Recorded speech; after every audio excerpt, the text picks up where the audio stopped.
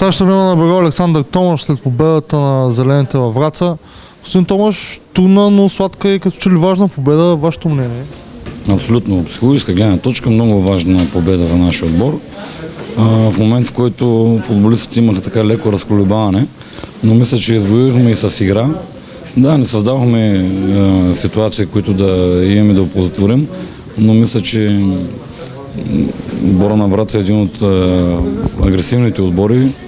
Видяхте, отидоха на игра на агресир, да пресират. Мисля, че успяхме да прередим най-силното им оръжие и закономерно победихме. Самата победа ли бе най-важното, като че ли след двете загуби, както казахте, психологически? Това ли бе най-важното или играта? За мен е съкупност от двете, защото по този начин е, увереността е, се възвръща в футболистите и съм убеден, че... Благодаря.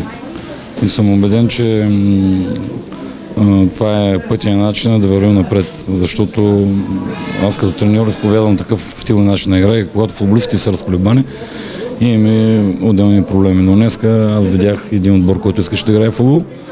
И имаме си нашите проблеми в последните 30 метра, но ще работим върху тях.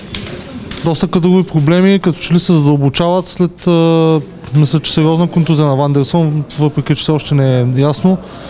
Предстои двубой с Левски. Как ще се справите? Ще разчитам на колектива. Да, тази година имаме доста странни контузии. Знаете за Ерол, а, Гош Ангелов, връзка, сега Вандерсон. Но част от футбола трябва, трябва да се справим.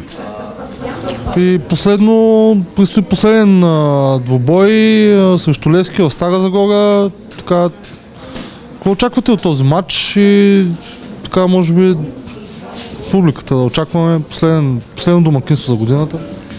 Очаквам да напълним стадиона, да дойдат всички, които обичат Берое, да стане един празник за футбола, наш отбор да играе и да се надявам да победим. Благодаря.